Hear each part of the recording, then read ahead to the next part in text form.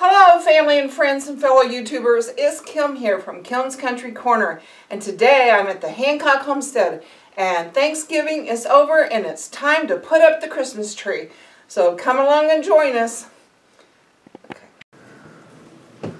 All right, so Thanksgiving's over. The table's been cleared. And now it's time for the Christmas tree to go up.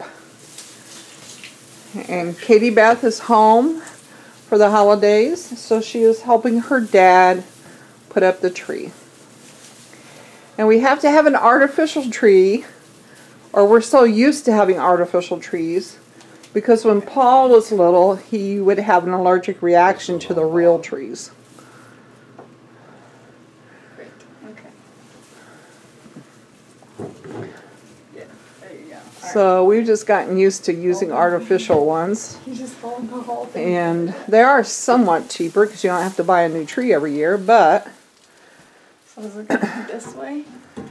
yep, I think you got it. Looky there. Okay. I knew we sent you to college for a reason.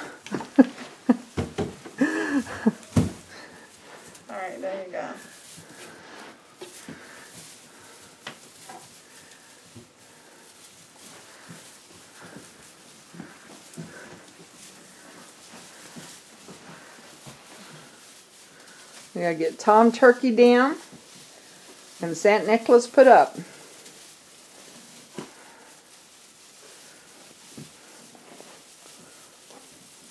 Nice job, Kitty Bat. Nice job, John.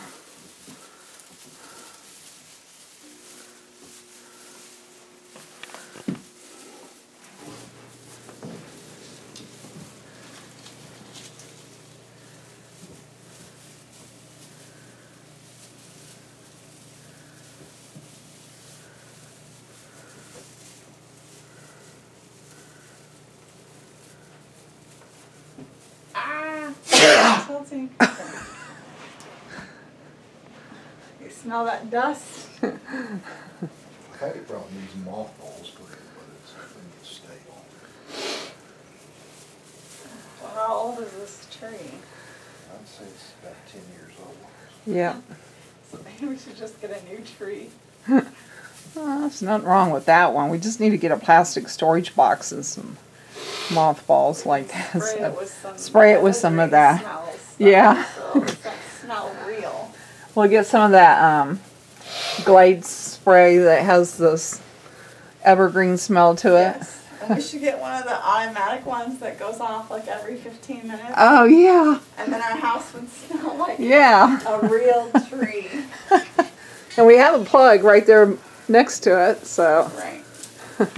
No one would ever know. no one would ever know, that it's a fake. Except for the whole YouTube world. But They wouldn't be able to tell by the branches or anything. no, By the plastic stiff leaves. it's the thought that counts, guys. I don't want bugs anyway, so. Probably. Okay, so now we're working on finding all the lights, all the light lines.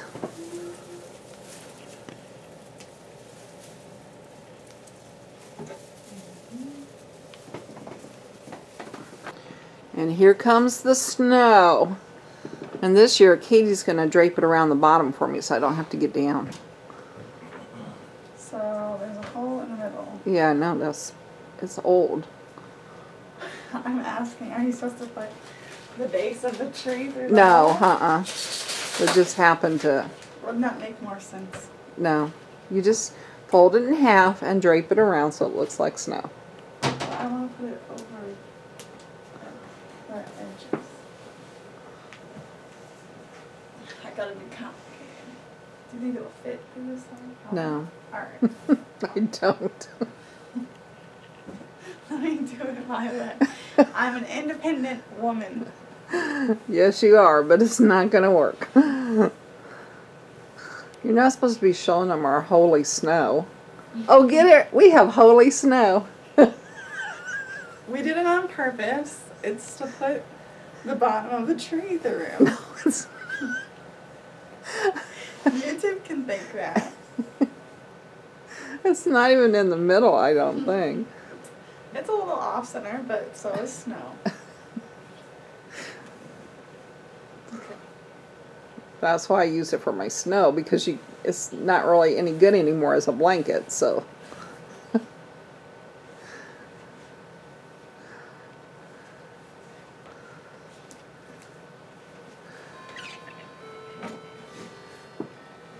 you can move that chair if you wanted, but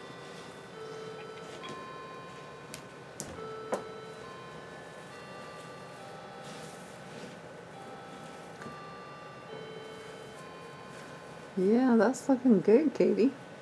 Alright, hang on, I gotta cover all the box. We raise it up on a box so there's more room for presents underneath.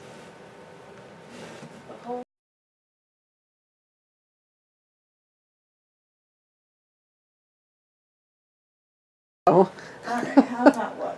uh, that looks good. Very nice. Thanks. Yes, indeed. There you go. Awesome job. Thank you. Thumbs up. Where are we gonna put the stockings? This one. Okay, so now Katie's gonna push the tree back. Sit down on your bottom. This over here? It's right there in front of it. Yep. Okay. Push your feet out. push the box back. Look at her. that is really good. Yes, keep going. Okay, that that's good. All right, now you have to come this way and push it that way. I know, but there's a thing right here. It's gonna bump into. Oh, is it is it up against that? Okay. Not yet. Well, I know that's. I want it up against that though, so we can get our stockings up on the door. Good job. Is that as far as what you wanted to go? I, I just want it to go up against that rail there. Yeah. Okay. Well, it is. Okay. Don't you want it over more so you can actually see the stockings? I don't think it'll go over anymore because then you're gonna cover up the vent. It'll go over like two inches. All right. So now she has the magnets out and she's gonna hang the stockings. I wonder whose will go on the very top. So how high do you go? Like this high? Yeah, you have to go pretty high. And I usually hang them in rows, you know, like Paul and Edna, Matt and Karen, you and Jeffrey. I don't have one. I don't think I have one for, um, no, I should have one. You don't have one for Emma? Jeffrey or Emma. Oh, okay. Well, then it's time to get one.